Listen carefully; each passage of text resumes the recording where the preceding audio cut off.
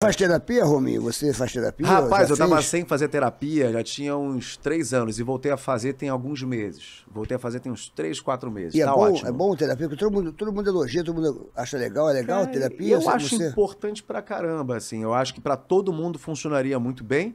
Acho que é uma questão de cada um, obviamente.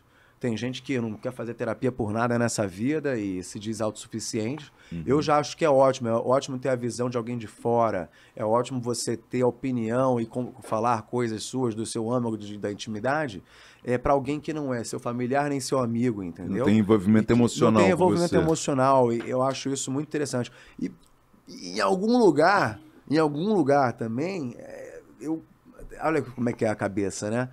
É, é, em algum lugar funciona também como pai que eu não tive, entendeu? Meu terapeuta é homem. Então, em algum lugar, é aquele cara que eu Sim. queria, que eu podia falar tudo.